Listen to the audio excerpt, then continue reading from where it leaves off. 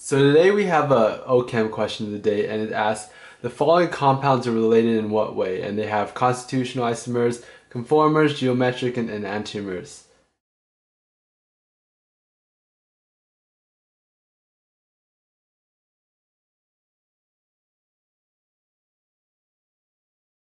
So before we actually define what each of them are, I want to make sure that you guys can be able to flip these because you won't be able to actually answer them unless you can redraw them.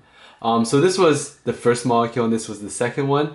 And so right here we can't really determine whether or not they're any of those.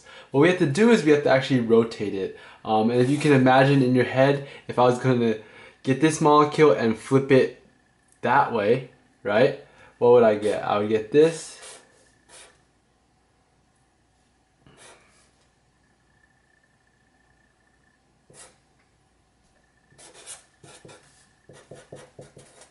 So you can picture that, maybe you might need a, a model to, to really move it around, but picture that and you should be able to see that these two will be the same if we just flip it like that.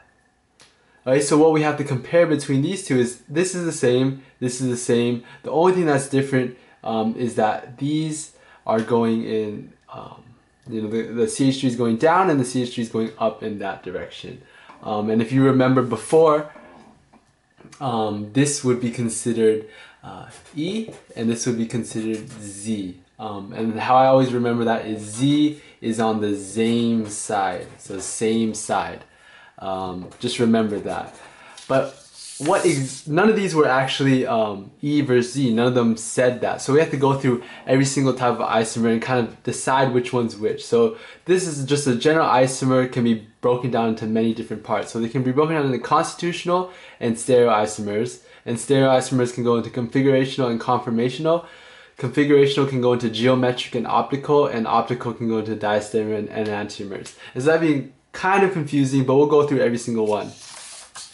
So constitutional isomers um, is something that has a different placement of bonds but the same molecular formula. And just to let you know, all isomers have the same molecular formula but are rearranged differently. Um, so a constitutional isomer would be something like this versus that. So alkane versus isoalkane. Um, and geometric isomers would be E versus Z or cis versus trans.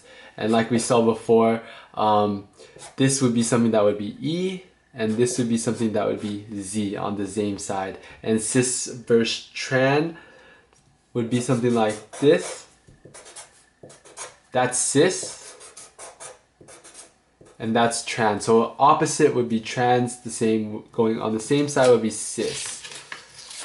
And the next one we would look at is diastereomers. So they differ by at least one stereocenter. So that would be something like, say you had R, R, R versus R, R, S, that would be a diastereomer.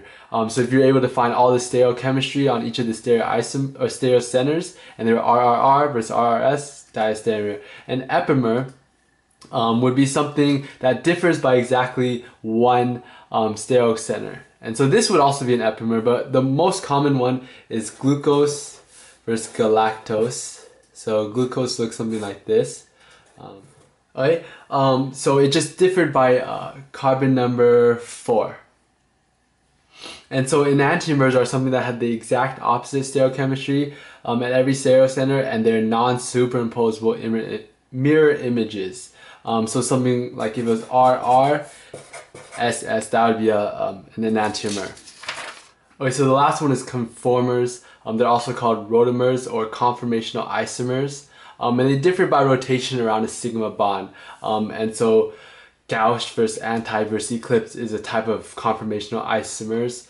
Um, and so the if you don't remember, it's okay. But the first one we have right here, we have CH3s going in, uh, one going up in the front and one going down in the back. This would be considered anti. Um, and the ones where the CH3s are right back to back each other, like a solar eclipse, um, is eclipse and the ones where they're next to each other but they're not right behind each other is going to be gauche. Um, so if we look back at our question, we see that the, the answers were constitutional, conformers, geometric, and enantiomers, and we know that one is E, one is Z, um, so this would actually be geometric isomers. Hey guys, remember to post any questions you would like us to answer in the next question of the day down below in the comments. Thanks for watching.